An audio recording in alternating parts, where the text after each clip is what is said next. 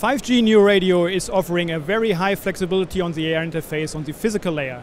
This is required to serve the different services we are uh, trying to achieve with 5G. In our test setup here, we demonstrate how to generate and also how to analyze these physical signals as specified by 3GPP.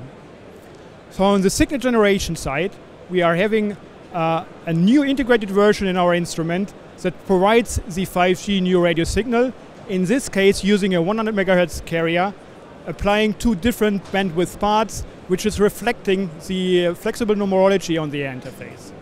This signal is upconverted to 28 gigahertz range. It is transmitted with this phased array antenna that is capable of doing multiple beams to our receiving antenna, which is a simple horn, and we feedback the signal into our signal and spectrum analyzer.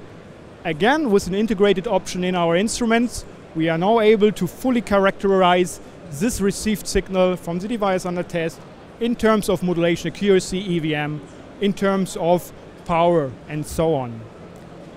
In this setup, we also use a second beam from out this phased array antenna, which is pointing to three different, what we call over-the-air power sensors, which are capable of doing power measurements where they are placed. This offers a very fast and accurate power measurement at distinct positions in space and thus reflects the capability to test beamforming, dynamic beamforming algorithms. With this setup, we show how to test two important aspects of the 5G new radio physical layer, which is a fully characterization of the flexible numerology in the air interface, as well as to provide fast and accurate power measurements for dynamic beam steering algorithms.